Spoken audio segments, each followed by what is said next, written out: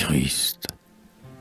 Dans un recoin, baigné de rayons et d'azur, et face à la fenêtre où le soleil demeure, au foyer paysan, dans la simple demeure, un Christ de plâtre blanc repose sur le mur.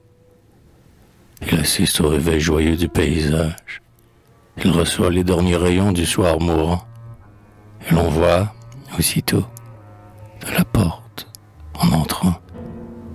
son douloureux et sublime visage. C'est le Christ des anciens, celui que les aïeux ont placé là, jadis, de leurs mains solennelles, et que, plus tard, entrant dans la vie éternelle, ils ont baisé longtemps, en refermant les yeux. Il est le confident, le vieil ami, le maître, que le Père et le Fils ont prié, tour à tour, antique protecteur de ce calme séjour. Il tient, aux yeux de tous, la place d'un ancêtre. Il est l'objet chéri, pieux et consolant, auquel le souvenir d'un peuple se rattache. Son corps décharné, la nuit, fait une tache blanche dans la noirceur du foyer somnolent.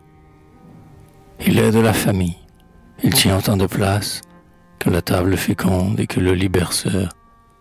Il emplit de lumière et baigne de douceur. C'est toi, fier gardien des vertus de la race.